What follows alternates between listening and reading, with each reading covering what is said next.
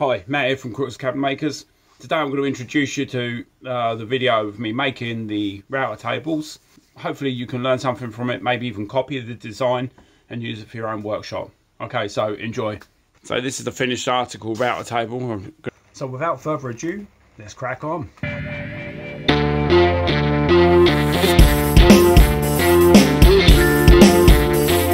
I've marked three points on here. One, two, and three is at the other end.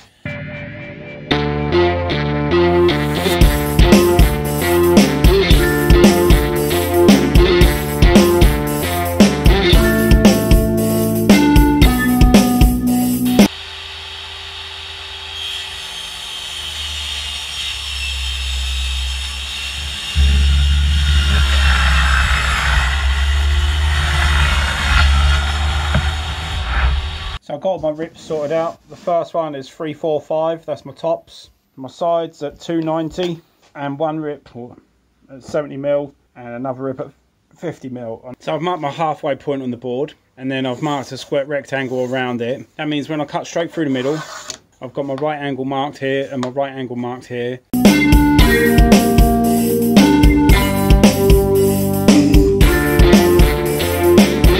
Right, so after cutting you should have one top 540 millimeters long by 345 two side panels 290 millimeters high by 290 millimeters in width.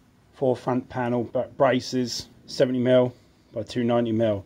Now i'm going to show you what you need to do to put these together. Right so these side panels and the front braces they're interlocking so i'm going to mark them out and show how show you how i mark them out and then cut them on the bandsaw. So the easiest one to show you first front brace so first thing I'll do is lay that flush along that edge. Pinch that down, double check that's correct.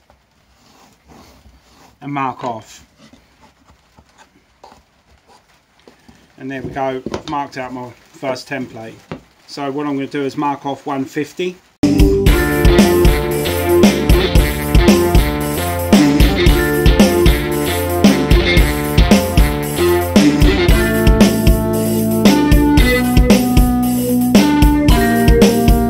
One is a slightly more complicated and I will actually get my square for that. Pinch that up nice and tight.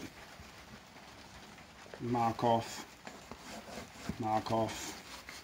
Mark off. Mark off. For this one I only want a top and a bottom mark. I'm not cutting all the way through yet. That one on the inside there and again mark off. So again flushed out at the bottom. Mark off. Mark off and you're good. And the same on the other side.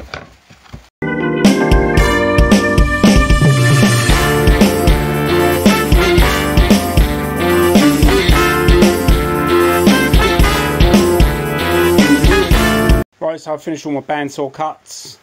Now what I want to do is chop this out and fit the two together, make sure they fit nice and snug.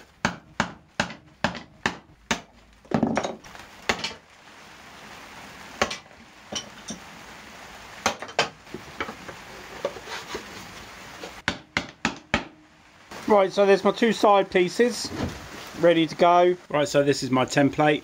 It is dead square but this makes the assembly process much easier. So what I'm doing now is I'm building the frame.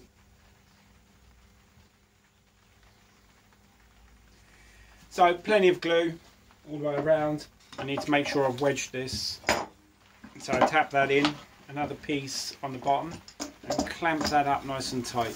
Four sides, only three sides of glue and this one will come out once I've glued this. 25 mil pins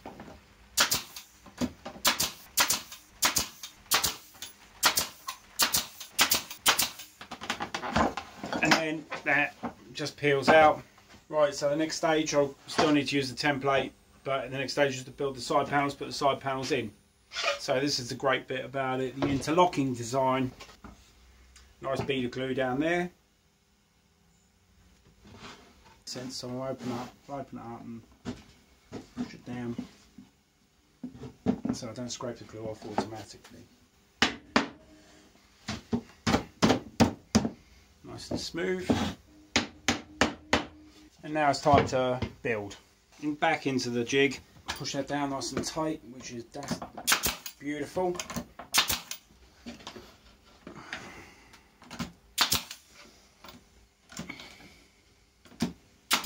Right, so here we've got the front rail piece, the interlocking piece, and there we go. Perfect. So that's the base unit, base half of the unit. Okay, so that's the base unit, and now to assemble it.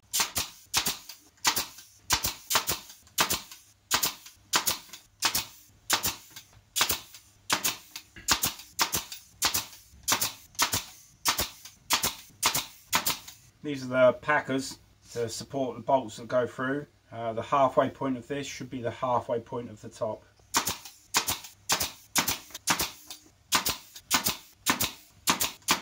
Okay, and that's fully laminated, so I'll leave that to let the glue set. Marking three positions, 170. Mark the halfway point, make sure that line's clear. Same on the other side, 163 millimeters. And that's the hole for the bolts to attach the router to. And same again. Mark. So what I've got here is a 44 mil hole saw. I'm just going to drill that through. Next drill hole is 26 mil.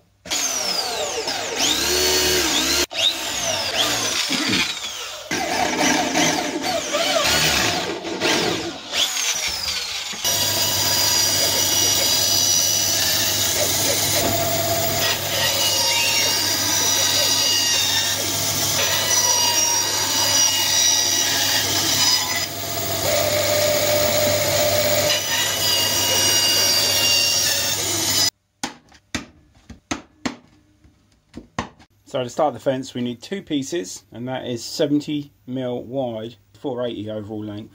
And then mark at 220, 35 mil down. And then this piece in here we're going to take out.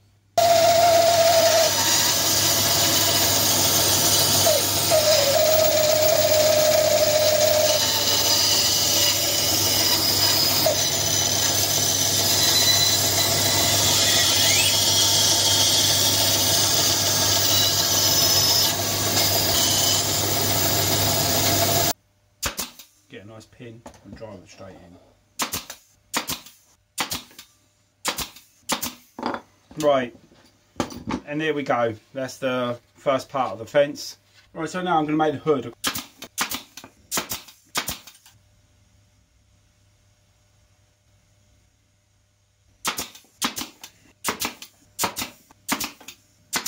So position this in the middle.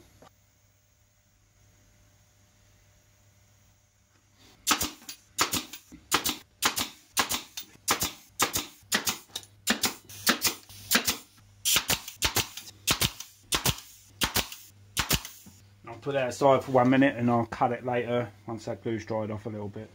So while I was waiting for those to dry, I made up some brackets, 140mm by 32, and that's the clamp the router in place. Get my saw flush against there.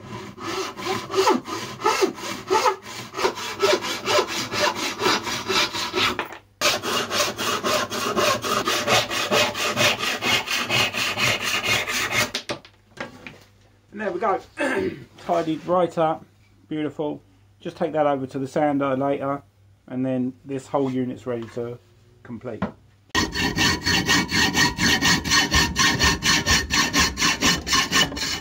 So now, one of the finishing stages to do is just run around it and find out whether there's any rough bits or any splinters. Best way to do that is just run your hands over it a little bit and find out. So I like to put my own little mark on them.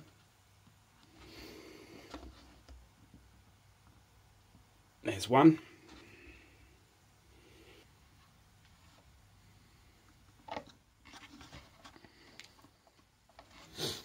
There's two. So there we have it, the finished article router table, ready to go. You can fit any router you like in that. Up to 180mm base plate. There's room on the side here to fit the NVR switch you can also adapt this to put your own rise and fall in it. I've done that with other models. So that's it. That's the lowdown of how I build my router tables. Thank you for supporting the channel. Also to those guys who've actually bought one of my router tables, thank you very much also. Have a nice day. Stay safe in the workshop. Catch you next time.